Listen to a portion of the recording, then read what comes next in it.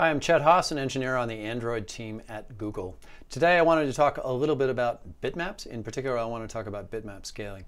One of the big problems that people run into when running applications on constrained devices is that they want to load in, let's say, huge images from the camera on the phone, from the web, wherever.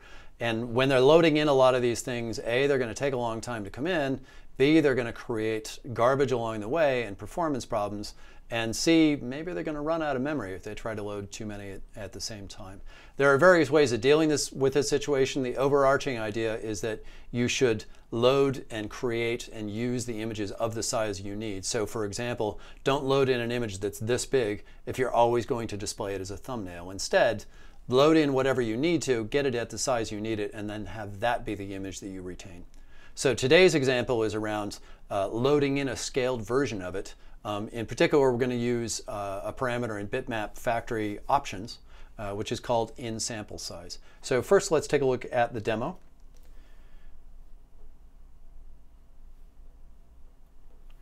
Which is called bitmap scaling. And there's nothing to interact with here. I just wanted to show a visual representation of what's going on with these images because there's something a little unobvious about in sample size the first time you use it.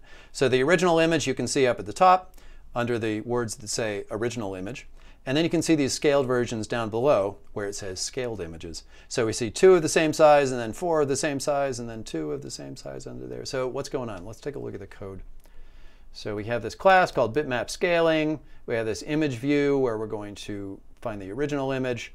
Uh, we're going to decode the jelly bean statue image in there. And then we're going to um, add scaled image views. And this is going to be using the in sample size thing. So we're basically going to iterate from values from 2 to 10 and use that as our in sample size value uh, and see what effect we get. So we create one of these bitmap options objects and we set the in sample size to the sample size that was passed in, which is that integer value from 2 to 10. And then we create a scaled bitmap, which does a decode on that original image, but it uses the options. It uses this in sample size. And what in sample size uh, tells it is um, how many pixels to read for each of the original pixels um, in the image. Uh, the advantage of doing it this way is that it reads less data. It's going to be faster to do this because it's basically skipping a lot of data along the way, potentially based on, on the value of in sample size. The disadvantage of doing it is that it's basically going to wind up with powers of two scales of your original image. So you can pass in a value of 2, which means it's going to skip every other pixel, and you're going to wind up with an image that's half the size of the original.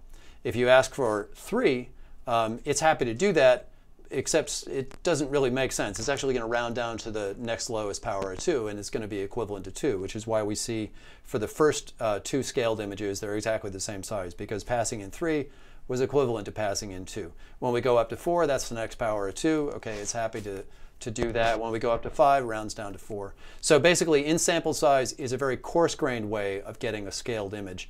Uh, it works great in the cases where you want powers of 2 um, scales of your original image. Maybe it works for you to, to read in at that lower size and you get a faster reading um, uh, time because you're reading less data. But then once you have that data, maybe you then want to scale to the exact size that you want. Um, and you can always get a bitmap of the exact size that you want through various mechanisms, creating it exactly at the width height that you want, or create a, a scaled bitmap. Um, there's an API to create a scaled bitmap from another one. Um, so there's lots of different ways to do that. Today was about using in sample size in particular. Higher performance because it reads less data with a constraint that it will end up with powers of two images at the end. So in sample size, use it. Thanks.